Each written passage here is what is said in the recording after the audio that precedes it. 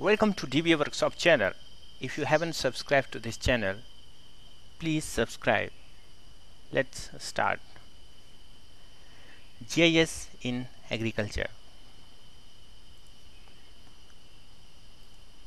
Topics.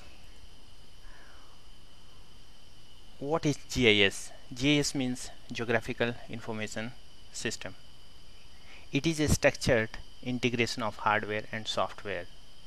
It is a systematic way in which we talk about uh, spatial data and its operations. For example, if we are collecting a spatial data and we are capturing it, we are storing it and we are displaying it and we are also have to update spatial data we have to manipulate it and we have to analyze it all those things are studied and done in GIS the subjects where we study GIS these are the subjects where we study GIS so why we need a GIS because we have a different kind of sources where we have a spatial data and we have to integrate it. So it deals with the real life and data is continuously keep on changing and we need a quality data. And we need a system where we could capture this data and we could retrieve it as and when we require. And we also need a manipulation on this data so that we can be used it analyze it and use it for our benefit. So when we store a spatial data we have to store the features about that data so data about data that means features about a data is called a metadata. So when we store the spatial data we have to store the metadata that means features about that data with those spatial data.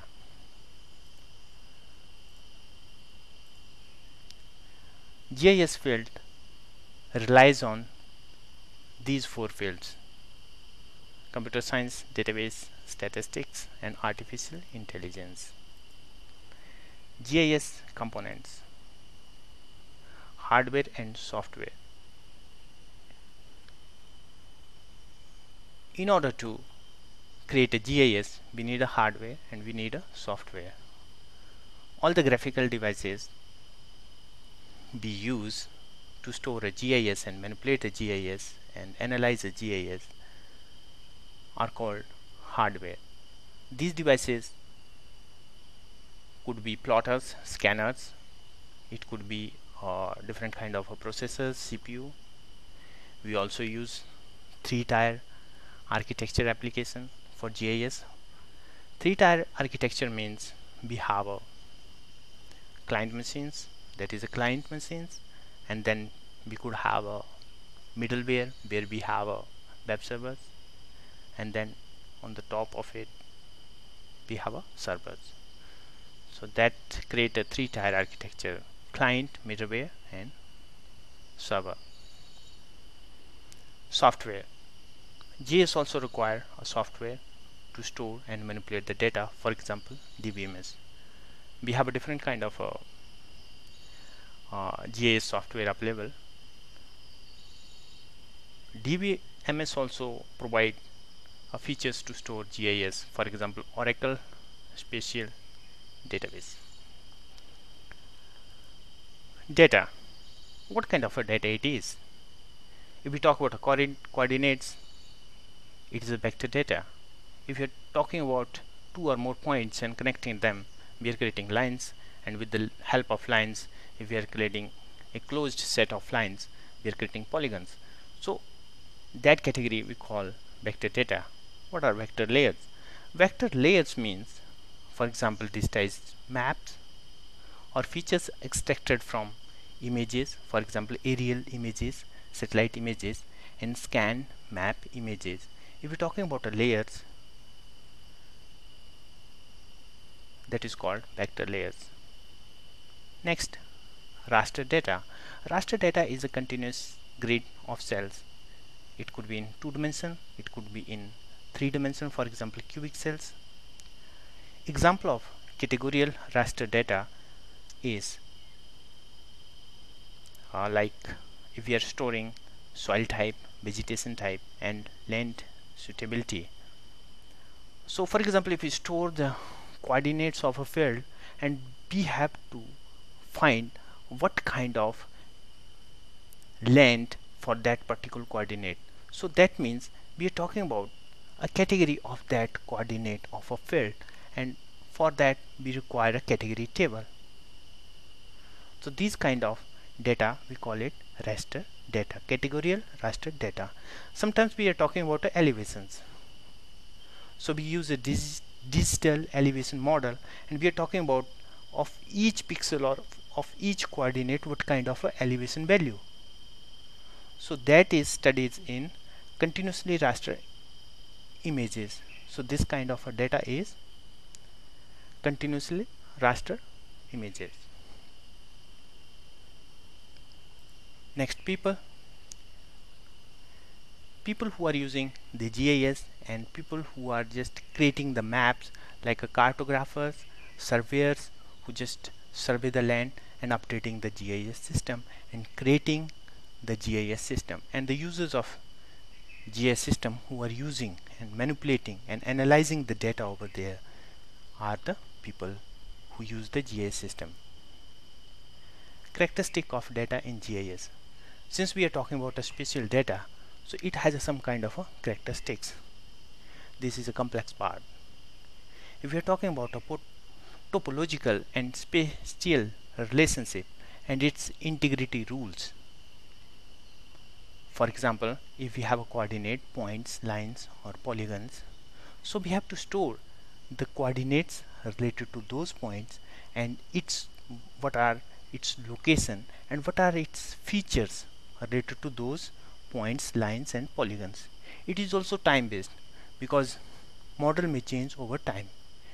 It is a dynamic data and quantitatively quality. It also requires what kind of a quality we have. For example accuracy of spatial coordinates the position of objects how accurate it is.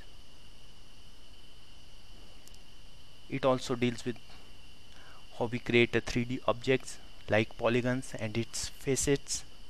It also talk about thematic values. I mean what kind of property and quality of that objects. It could have a fuzzy objects we are not very sure what kind of location attribute it have. Then we categorize it category categorize it as a fuzzy objects. Entity data for example if we are talking about a forest rivers roads and buildings so we call it a entity. A data related to those entities. Field based data. For example if you are you are talking about a terrains then its attribute vary in space so we call it field based data it also store data quality. I mean how accurate the data is.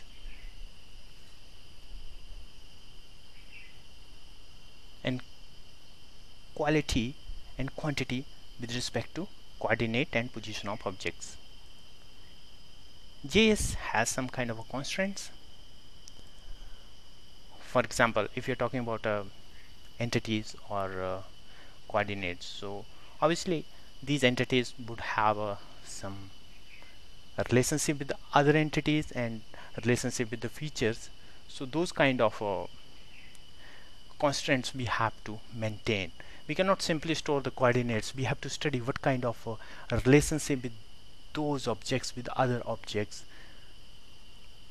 So these constraints has to be followed when we store a GIS data topological constraints. For example if you are storing about buildings and uh, buildings we have a concept of a parcel. Parcel means it is a kind of a lines and polygons. So lines and polygons are stored in such a way and we call it a parcel. So for example we store uh, buildings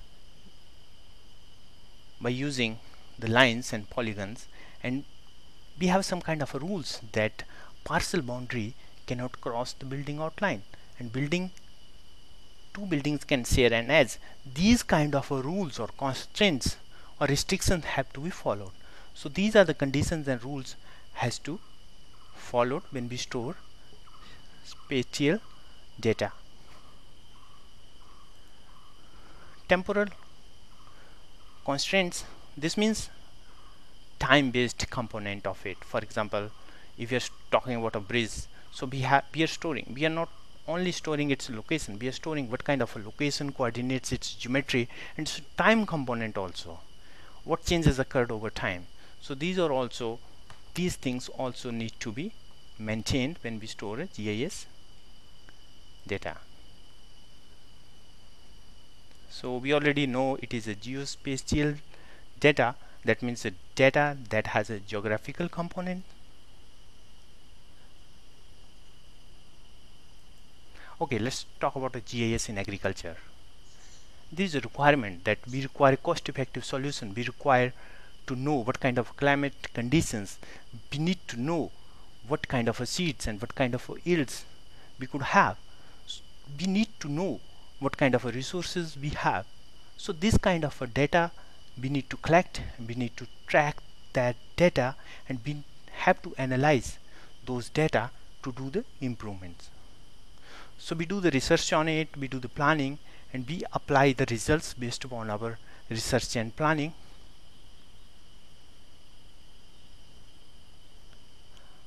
To do this we use natural resources like soil water livestock plant genetics fisheries forest climate rainfall and topology.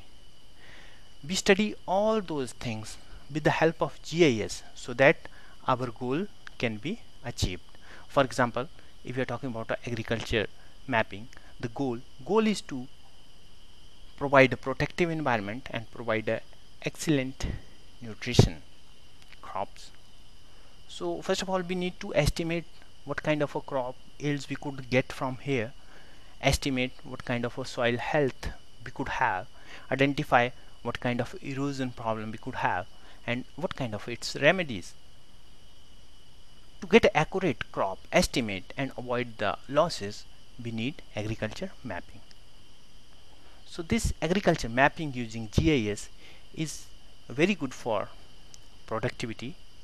It also uh, provides employment and it also increases the income of farmers. GIS uses different kind of tools. It it it uses it can be used as online web resources so the main function of GIS in agriculture is to just do the welfare of farmers and it increases the productivity employment and income it also can help in forecasting using multi spectral imagery collected by satellites. Again GIS helps in analyzing the environment visualize the environment. It can do the remedy in time. It can help in creating the workflow. It maintain the soil it can help in maintaining the soil nutrition and plant health it helps to boost the agriculture industry to avoid losses GIS help in better management of land and its resources GIS in agriculture. GIS helps in analyzing the environment, visualizing the environment and uh, finding the problems and its remedy before the losses occur. So hence it increase the production and reduce the cost. For example, agricultural GIS. It's a crop monitoring technology. It monitor the crop. It it just to do the management of the soil it just to how better we can do the irrigation of farms it uses geometric technology this technology is used to create the maps it can identify it, the problems. It just uh, create the samples of current and future variation of various features of the field positions. Geometric technology is used for example to uh, know what kind of a temperature on various uh, field positions. And uh, it can just monitor the crop. It can see that uh, uh, what kind of a problems in which section of the field. And it can Uh, based upon those data we can just uh, do the remedy uh, before the losses occur.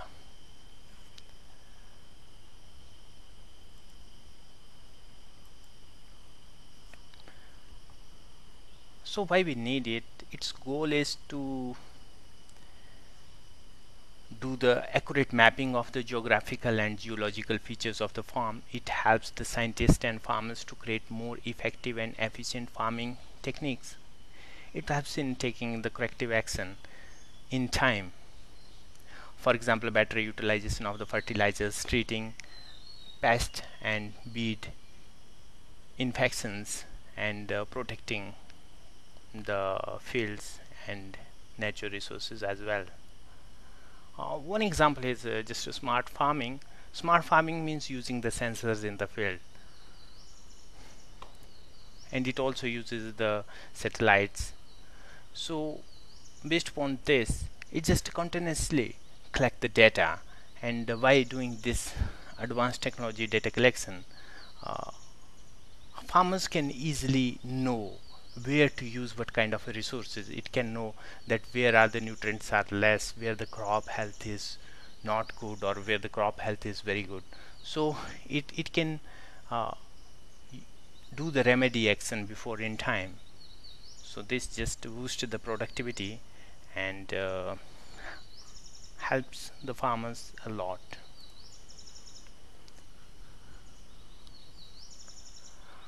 Nowadays farming is getting more advanced.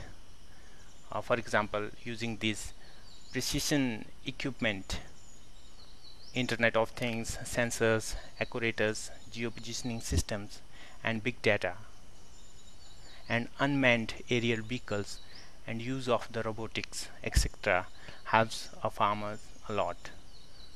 Benefits of precision agriculture. It helps the farmers to timely collect the geospatial information on the soil plant requirements.